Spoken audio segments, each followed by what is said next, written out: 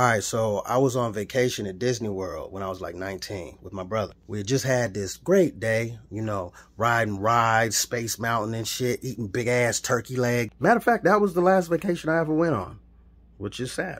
So we're waiting for the shuttle outside. There's a couple other people around. There's this girl, a little black girl, like 15 years old or whatever. And she is just staring at me, but like not in a good way. Like not, it wasn't cool. She comes over and she starts talking to my brother and stuff, you know, still looking at me.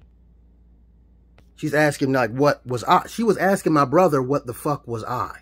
At this time in my life, my self-esteem was just, you know, in the toilet. But even then I was like, well, damn, bitch. So my brother's trying to explain, uh, we're, you know, we're black albinos. He's a black albino. I'm a black albino. This whole time, she is not taking her eyes off me. Like real, like, like you about to move and scare the fuck out me right now. My, like I. So she comes a little closer to me, but stays far enough away that I couldn't like reach out and grab her. And she like leans in and starts asking me questions. Now people have done this before, but they've never done this like this blatantly in my face. I've never seen this level of curiosity and absolute horror and terror from a person at the same time. Finally, the bus pulls up. At this point, my brother's already laughing. He thinks this shit is fucking hilarious. My soul is hurt. We get on the bus.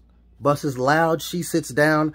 Uh, I go to the back and she moves to get closer to me, but still far enough away that I cannot grab her. Offended. About halfway through the trip, she asked me a question and I didn't hear her. So I moved a little closer. Just leaned in. Huh?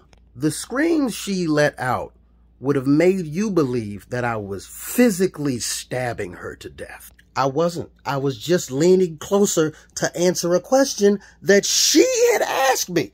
I should have punched her in the face. I should have punched her dead in the face, but I didn't. If I had a punch in the face at the time, I would have thought it had been just like, you know, uh, uh, uh, self-defense because she had just stomped all over and through my soul. My brother just fell the fuck out. He laughing his ass off. This bitch now, everybody laughing on the bus just to me. Everybody's scared of me and shit. Came from Disneyland, Disney World, feeling all good and shit, feeling good about myself. Had a great day, eating turkey and churros and, and riding Space Mountain and Big Thunder. I'm just trying to go home and this little fuck ass heifer gonna fucking ask me a question and then get mad because I got too goddamn close. Bitch, I hope you got rickets. Anyway, hopefully that girl is still alive and, you know, somewhere miserable.